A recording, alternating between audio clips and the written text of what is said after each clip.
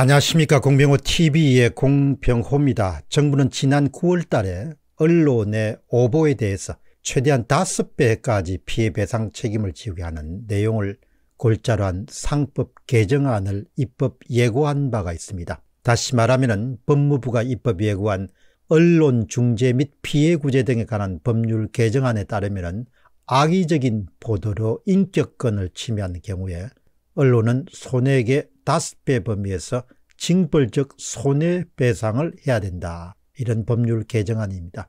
지금도 보도에 대한 명예훼손 등의 고소고발이 아주 잦습니다.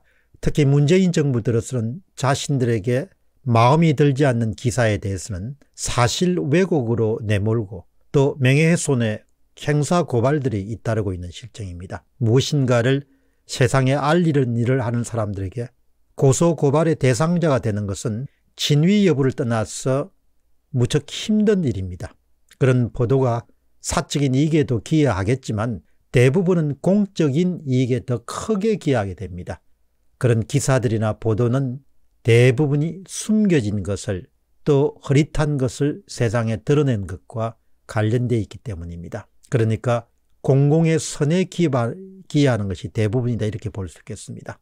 다음은 언론 보도의 속성입니다. 언론사의 보도는 표준화된 공상품과는 달라도 아주 다릅니다. 그렇기 때문에 공상품에 적용된 제조물 책임법과 비슷한 그런 언론사 기사에 대한 그런 징벌적 손해배상 제도는 정말 문제가 많다고 볼 수 있겠습니다. 빙산의 일각에 불과한 사실을 갖고 전모를 추정한 기사를 내보낼 수밖에 없습니다. 옵티머스 펀드 사기 사건이나 라임 펀드 사기 사건, 조국 사건 등은 모두 다 작은 단서로부터 시작됩니다. 단서로부터 추측 보도 기사가 나가고 그 다음에 계속해서 추가적인 취재를 통해 가지고 사건의 실체적 진실이 알려지게 되고 그 다음에 수사가 들어가게 됩니다. 사실을 확인하는 작업은 시간이 많이 소요가 됩니다. 그리고 진실은 본래 서서히 그 모습을 드러내게 됩니다. 따라서 일정한 수준에서 추측 보도는 불가피한 일입니다. 정부나 기관이 발표한 보도 자료를 전달하기는 쉽고 안전하지만 그 속에는 가려진 것이 많을 수밖에 없습니다. 정부나 기관이 발표한 보도자를 그대로 기사화한다면 그 언론사는 필요가 없습니다. PR 기관이기 때문입니다. 하지만 손해배상 가능성을 심하게 의식해야 되는 그런 상황이 발생하게 되면 현장 기자들과 데스크는 강한 자기검열을 실시하게 될 것입니다. 웬만하면 보도를 하지 않을 겁니다. 몸을 살린다는 이야기죠. 언론 자유를 심하게 훼손하여 결국 사실로 완전히 확인되지 않은 것은 보도하지 말라는 이야기입니다. 사실로 완전히 확인된 것은 검찰이나 경찰의 수사를 통해서 확인되게 됩니다.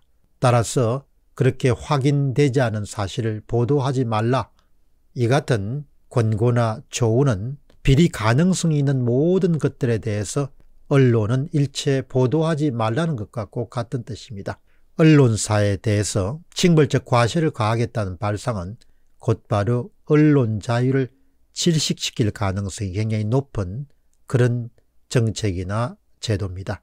따라서 대단히 위험한 발상이다 그렇게 볼 수 있겠습니다. 우리가 언론에게 자유를 보장하는 것은 언론이 늘 진실을 보도하기 때문에 자유를 보장하는 것은 아닙니다. 언론에게 숨 쉴 틈을 보장해 줌으로써 어떤 사회의 어두운 면을 계속해서 발굴해서 부패하지 않고 정화하기 위한 것입니다. 따라서 우리 모두에게 어느 정도의 악의적인 보도가 존재할 수밖에 없는 그런 불가피한 점을 받아들일 수밖에 없습니다. 세상에는 들어 악의적 보도가 있는 것이 사실이고 그러나 악의적 보도를 막는다는 미명하에 언론에게 강한 재갈을 물리는 일은 정말 체제의 건강함을 유지하기 위해서는 바람직하지 않습니다. 다음 질문은 징벌적 보상제도입니다. 한국신문협회 등 언론단체들은 10월 27일 날 서울 프레스센터에서 긴급 토론회를 개최하였습니다. 토론회의 주제는 언론에 대한 징벌적 손해배상제 과연 타당한가입니다. 쟁점 중 하나는 이 법안이 고의적 오보뿐만 아니라 중과실로 인한 오보에 대해서도 피해 보상을 하게 된다는 사실입니다. 여기서 중과실로 인한 오보는 취재 과정에서의 소홀함으로 인해서 예기치 않게 오보가 된 경우입니다. 토론에서 김동훈 기자협회장은 이렇게 주장합니다.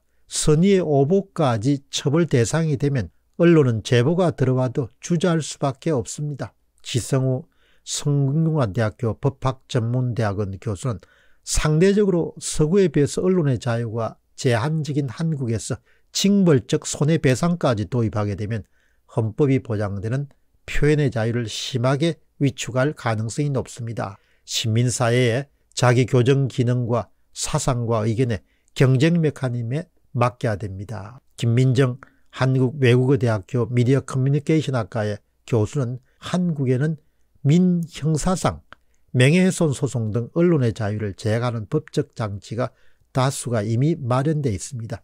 만약 하나라도 징벌적 손해배상 제도가 논의가 되면 공직자의 공적 사항이나 대기업 사안에 적용하지 않는다는 예외를 허용해야 될 것입니다. 그러나 결국 이번 징벌적 보상 제도를 언론사에 가하려고 하는 그런 일군의 정치 세력들이 목표로 하는 것은 공직이나 공직자와 관련돼서는 일체의 추측 기사 같은 걸 내지 말라는 그런 의도를 갖고 있기 때문에 이 같은 시도는 예외 조항을 두는 것은 불가능할 것입니다.